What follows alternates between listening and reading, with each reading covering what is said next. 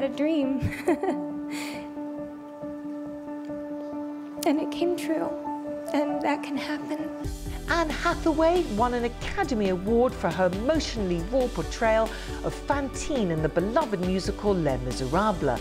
But she's been a successful actor for over 20 years and has starred in many blockbuster films, including The Devil Wears Prada, Brokeback Mountain, and Christopher Nolan's The Dark Knight Rises.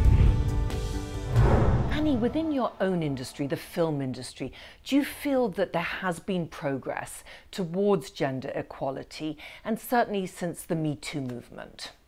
Oh, yes. I, there, there, there, there absolutely is conversations that used to feel like they were few and far between are happening on the daily basis.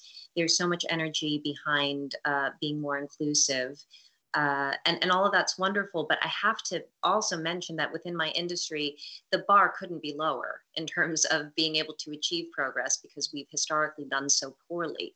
So while all of this momentum and all of this conversation and all of this action is very, very exciting, um, we still have a long way to go. And of course, the film industry has been affected by the pandemic. You have managed to film, and you uh, came out with a film called Lockdown. You were talking about stealing a diamond. Three million pounds. Live wild or die, Linda. And I'm feeling good. Harrods is the most glamorous store in the world.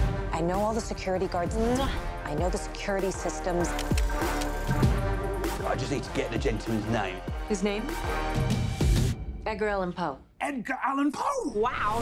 What was that experience like filming? Oh, I just felt very, I felt very uh, grateful to be able to take what I was feeling as a result of the pandemic and channel it into um, into something creative. Um, you know, it, it, was a really interesting and beautiful, I thought, beautifully written script, and um, it was with a team of people that I really wanted to, to be with.